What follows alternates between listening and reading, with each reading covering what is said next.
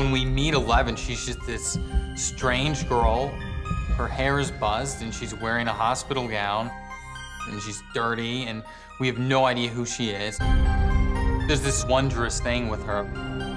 She has these special abilities. She's scary because we don't know exactly what she's capable of. There's also this fear of she can do these things with her mind. What can she do to me?